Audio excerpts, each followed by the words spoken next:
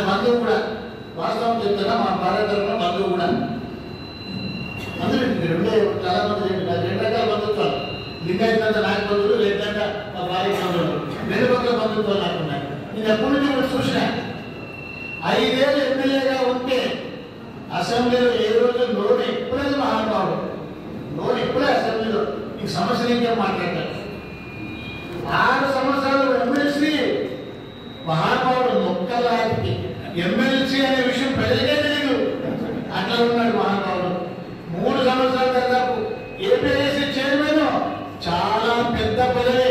ఈ రాష్ట్రంలో ఉన్నటువంటి వందల వేల కోట్ల పరిశ్రమలకి అది ఆయువు పట్టలాంటిది ఏపీఐఏసి కానీ మన రాజధానికి వరగబట్టింది ఏంది లేదు. ఏది మాట్లాడితే మాట్లాడలేని నత్తి. ఎంత? ఎంత? ఎంత? అంత తప్పితే మాట్లాడగలిగిన వ్యక్తి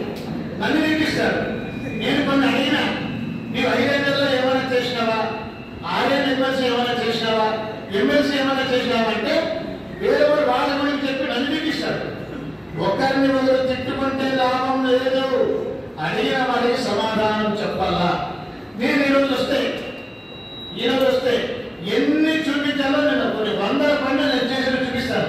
ఆయన చూపిస్తారా ఏమి చేయలే. ఏముందమ్మా మా గవర్నమెంట్ ఏం చేయాలో పని వెళ్ళిపోయాడు కాబట్టి ఒక అసమర్థుడు ఒక చేతికాని వ్యక్తి మరి మన రాజకీయానికి ఏమీ చేయలేదు కాబట్టి